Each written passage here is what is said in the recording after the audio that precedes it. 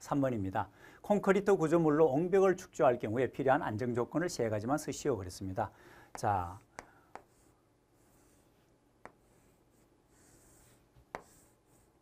옹벽이라는 것이 이렇게 생긴 것입니다. 그죠? 이게 전체가 콘크리트 덩어리라고 보시면 되는 거예요. 근데 이게 땅 속에 들어가 있으면 이만큼 땅 속으로 이렇게 묻혀버립니다. 이 부분들은 전부 다. 이렇게 땅 속으로 들어가죠. 우리가 볼 수 있는 거는 이 부분만 딱 볼 수 있기 때문에 이게 안에 있는 이 덩어리를 우리가 볼 수가 없는 거예요. 전문가가 아니면 사실은 잘 알아내기가 힘든 것이죠. 그죠? 근데 이 옹벽은 이렇게 무너질 수 있는 경사지에서 경사지 붕괴를 방지해주는 아주 좋은 방법이다 이렇게 보시면 됩니다. 그래서 댐을 건설한다든가 이럴 경우에도 옹벽을 많이 사용을 합니다. 자, 이 옹벽은요. 제가 지금 안정적으로 좀 그리긴 했습니다만은 사실은 이 옹벽이 굉장히 높이가 높을 수도 있습니다. 그래서 이렇게 넘어질 수도 있고 이렇게 밀려 나올 수 있고 또는 아래로 이렇게 내려갈 수도 있습니다. 무게 때문에. 이 세 가지에 대한 안정이 갖추어져야 돼요. 제일 중요하죠. 그죠? 이렇게 넘어지는 거는 넘어지니까 말 그대로 전도라 그러죠. 그러면 넘어지지 않도록 끔 해야 됩니다. 그죠? 전도에 대한 안정성이 있어야 되고요. 이건 활동이라 그러죠. 앞으로 밀려나가는 활동에 대한 안정이 있어야 되고 밑으로 내려가는 집안 침하에 대한 것 또는 집안 지지력이라고도 얘기를 합니다. 여기에 대한 안정이 갖추어져야 되는 거죠. 이 세 가지가 옹벽에 대해서는 가장 중요하다라고 말씀을 드렸습니다. 그죠?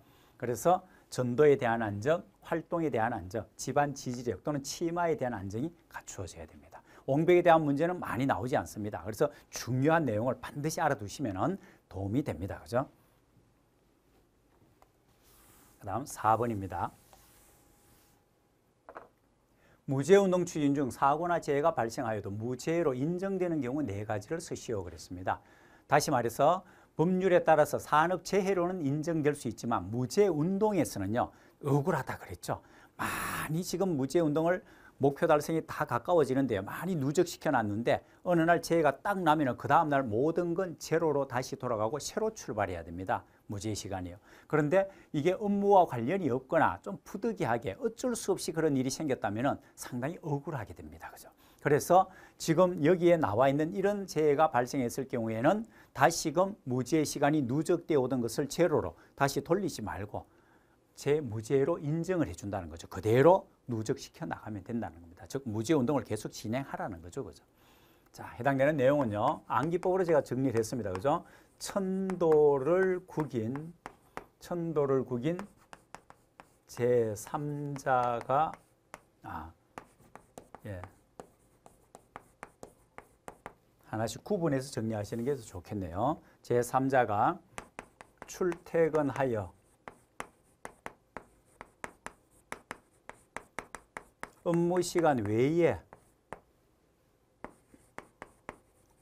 운동 경기를 하다가 사회 통념상 인정되는 사회 통념상 인정되는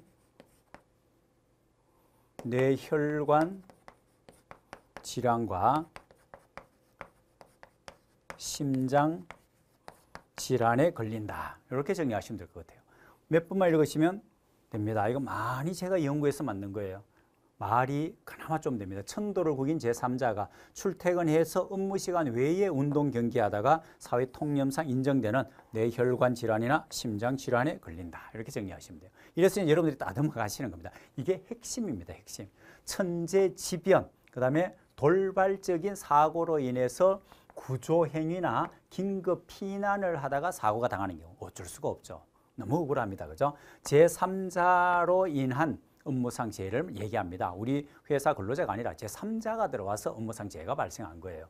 그럼 출퇴근하다가 사고가 발생하는 겁니다. 재해가 발생하는 거죠. 아직까지 업무 시작도 안 했지 않습니까? 그런데 이걸 무죄 운동이 제로로 다시 돌아가면 얼마나 억울하겠습니까? 그다음에 업무 시간 외에 발생하는 재해, 운동 경기라든가 여기는 또 이제 각종 행사를 얘기하는 거죠. 경기뿐만이 아니고 이 각종 행사를 하다가 재해가 발생하는 경우, 사회 통념상 인정되는 재해가 발생하는 경우, 뇌혈관이나 심장 질환도 갑작스럽게 일어나는 건데 사람으로서 참 대비하기가 힘든 그런 재해라고 볼 수가 있습니다. 그죠?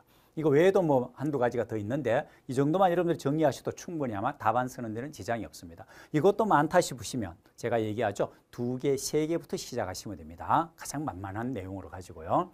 자, 천도를 구기인해서 구정인 긴급 행위, 출퇴근 도중에 발생하는 운동 경기, 제3자 행위, 그죠? 사회 통념상 인정되는 것, 뇌혈관 질환이나 심장 질환, 업무 시간 외에 발생하는 것.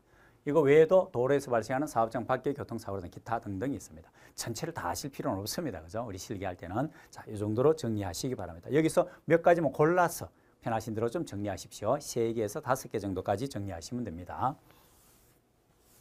이런 쓰는 연습을 지금 바로바로 하셔야 돼요.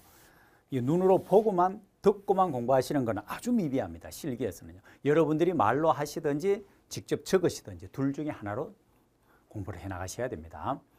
5번입니다. 기계 설비의 근원적인 안전화 확보를 위한 고려 사항을 네 가지 쓰시어 있습니다. 기계 파트에서 나오는 아주 중요한 것이죠. 그죠? 제일 중요한 게 외관의 안전화죠. 외관. 그 다음에는 뭡니까? 기계 쪽으로 들어가라 그랬죠. 그러면 기계는요. 기능적으로 안전해야 됩니다. 그 기계의 구조도 안전해야 됩니다. 그런 다음에 이제 작업할 때로 넘어가는 거죠. 작업할 때 안전이 있고 작업점에 대한 안전이 있습니다. 그죠? 작업점에 대한. 그런 다음에 보전 작업이라는 오랫동안 사용할 수 있도록 하기 위해서 보전 작업에 대한 안전화가 이루어져야 겠죠. 총 여섯 가지로 이루어져 있습니다. 그죠? 구분을 잘 하셔야 돼요. 처음에 밖에서 봤을 때 외관, 그 다음 기계 안쪽으로 들어가면 기계는 기능적으로 안전해야 되고 구조적으로도 안전해야 되겠죠. 튼튼해야 되고. 그 다음에 작업으로, 작업으로 분류하시면 돼요. 작업할 때 안전하고 작업점에 대한 안전화. 오랫동안 사용하기 위해서 보전 작업에 대한 안전화. 이렇게 여섯 가지로 나누어진다 이렇게 보시면 되겠습니다. 다시 한번 정리하시고요. 이런 문제도 점수를 주기 위해서 나오는 거죠. 전혀 어렵지가 않고 필기할 때 충분히 우리가 많이 했던 내용들입니다. 몇 번 더 쓰시고 또 말도 한번 해보시고 이렇게 하십시오. 6번입니다.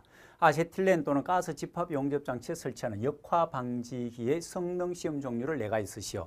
2라고 딱 썼습니다. 어렵게 출제를 한 겁니다. 이런 문제는 좀 맞추지 말고 좀 털려주셨으면 하는 그런 마음을 아마 출제를 한 것 같아요. 자, 일단은 이왕 나왔기 때문에 우리가 이제 공부하는 거는요. 역화 방지기입니다. 역화 역류 방지기죠. 그럼 역화 방지 시험을 해야 되고 역류 방지 시험을 해야 됩니다. 역화가 되는지, 역류가 되는지. 아니면 세에서는 안 되겠죠. 그래서 이제 기밀 시험도 해야 되고요. 또 뭐 압력 시험도 하고 이렇게 하겠죠. 그죠? 그래서 어, 잘 나오는 문제는 아니지만 어, 난이도 조절을 위해서 들어간 문제지만 이왕 나온 문제이기 때문에 우리가 힘 들이지 않고 간단히 알 수 있는 거 역화 방지기라 그랬으니 역화 방지 시험과 역류도 방지하니 역류 방지 시험 새 나가면 안 되니까 기밀 시험이고 압력에 관한 내압 시험 이 정도는 여러분들이 정리하실 수 있습니다 아니면 두 개 정도만 정리해 두셔도 됩니다 이게 출제 빈도가 높지는 않기 때문에 이 정도만 해 두셔도 충분하다는 얘기입니다 다음에 나왔을 때 또 한번 대비를 하는 거죠. 그죠? 7번입니다. 산업안전 보건법상의 안전보건 표지 중에서 안내 표지 종류를 네 가지 쓰시오 그랬습니다. 자, 금지 표지의 종류 통째로 다 외우시라 그랬습니다. 그죠? 그 다음 경고 표지 중에서 마름모에 해당되는 기본 모형이 빨간색인 종류를 꼭 외우시라 했습니다. 급한 인산부 폭발하는 거죠. 그 다음 안내 표지는 잘 나오진 않지만 특이한 것들이기 때문에 우리가 외우기 좋습니다. 그죠? 녹십자 표지가 있고요. 녹십자 표지에 반대되는 게 응급구호 표지가 있습니다. 그죠? 응급구호 표지는 뭡니까? 바탕이 녹색이고 관련 부호미 그림이 흰색으로 들어갑니다. 그죠? 녹색은 관련 부호나 그림이 또 녹색이죠. 그 다음에 어, 비상용 기구가 있습니다. 그죠? 비상용 기구라는 것은 응급구호에다가 안에 비상용 기구라 글자가 들어갑니다. 그리고 망치 그림이 하나 들어가죠. 그죠? 예, 이렇게 하고 세안장치라는 것도 있습니다. 그죠? 들것도 있습니다. 들것. 뭐 이 정도만 하셔도 되겠죠. 그죠?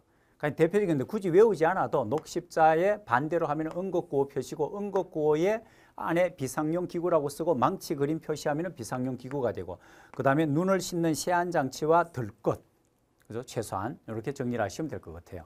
자, 보시고 그 외에 뭐 이런 게 쭉 있습니다. 비상구도 있고 좌측 비상구, 우측 비상구까지인데 앞에 있는 이 내용 굳이 안 외우셔도 충분히 하실 수 있습니다.